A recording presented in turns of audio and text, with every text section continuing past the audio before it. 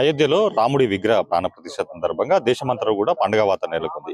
ఉమ్మడి కరీంనగర్ జిల్లాలో కూడా అన్ని ఆలయాలకు కూడా పండుగ వాతావరణం నెలకొంది. కరీంనగర్లోని చైతన్యపురిలో కరీంనగర్ ఎంపీ బండి సంజయ్ ప్రత్యేక పూజలో పాల్గొన్నారు. సార్ చెప్పండి.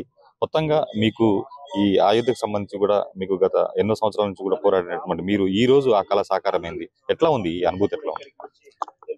చాలా సంతోషకరమైనటువంటి సందర్భం ఇది.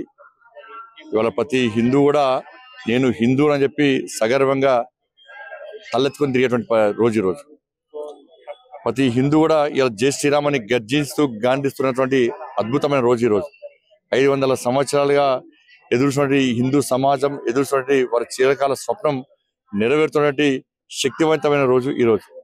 కాబట్టి ఈ సందర్భంగా హిందువులందరూ కూడా హృదయపూర్వక శుభాకాంక్షలు తెలియజేస్తూ ఈ అయోధ్యలో రాముల వారి యొక్క ప్రాణ కార్యక్రమం సందర్భంగా దేశవ్యాప్తంగా ఒక పండుగ వాతావరణం నెలకొన్నది ఇలా బస్తీలో గల్లీలో అన్ని కూడల్లో వ్యాపార కూడల్లో కానీ అంతా కూడా ఇలా పెండాల్స్ ఏర్పాటు చేసుకొని రాముల వారి కళ్యాణం రాముల వారికి అభిషేక కార్యక్రమం అన్నదాన కార్యక్రమం కూడా చేస్తున్నారు. ప్రతి ఇంటిని అలంకరించుకున్నారు. ఒక పండుగ వాతావరణం దేశ వ్యాప్తంగా నెలకొని ఉన్నది ఇలా కరీంనగర్ కూడా ఒక పండుగ వాతావరణం నెలకొన్నది.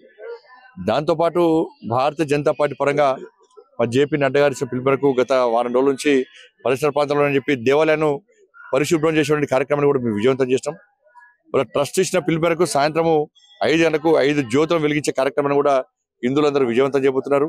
నరేంద్ర మోడీ గారి యొక్క పిలుపు మేరకు దేశవ్యాప్తంగా ప్రజలందరూ కూడా మరొక దీపావళి జరపాలని చెప్పి వారు ఇచ్చిన పిలుపు మేరకు సాయంత్రము ఆరు గంటలకు తెలంగాణ చౌక్లో కరీంనగర్ తెలంగాణ చౌక్లో కూడా టపాసులు పేర్చినటువంటి అద్భుతమైన కార్యక్రమం కూడా మేము చేయబోతున్నాం.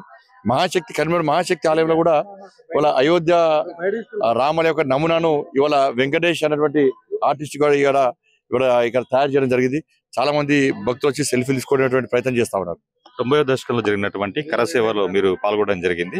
మొత్తంగా అప్పుడు జరిగినటువంటి పరిస్థితి ఎట్లా ఉండే నిర్బంధం ఉండేది అప్పుడు జరిగినటువంటి పరిస్థితి సాయంత్రం ఆడతాను అంతా శ్రీరామ్ ఇది మొత్తానికైతే ఆ ఇది తొంభై దశలు జరిగినటువంటి కరసేవలో తాము పాల్గొన్నాం. అదే విధంగా ఏళ్ళ కాలం నాటి ఒక ఈ కార్యక్రమం మొత్తానికి విజయవంతమైంది. ఈ రోజు ఐదులు జరుగుతున్నటువంటి రామ ప్రతిష్ట సందర్భంగా మొత్తంగా దేశవ్యాప్తంగా కూడా పండుగ వాతావరణం నెలకొంది.